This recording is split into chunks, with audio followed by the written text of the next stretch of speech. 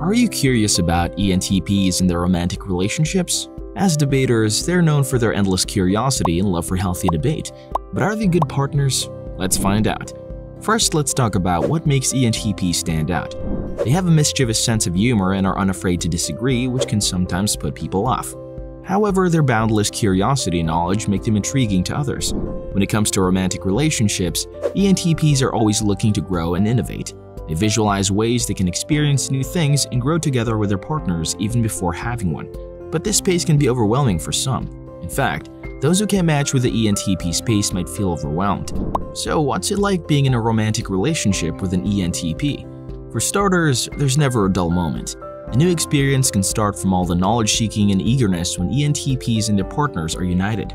So ENTPs love to surprise their partners with new ideas and experiences and enjoy intimacy without preconceived boundaries.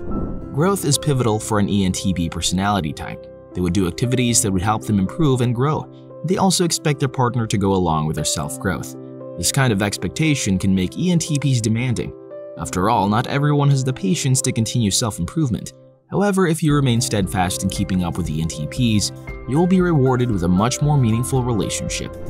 ENTPs also mesh well with other intuitive types, with one or two differing traits for perfect harmony and room for growth. It's also a good opportunity if they're with a more sensitive partner. In summary, ENTPs are good partners for those who seek out growth, but it requires endless patience and understanding. ENTPs are the most open-minded among the analyst personality types.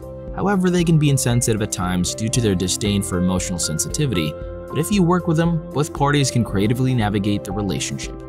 So are you compatible with the ENTP personality?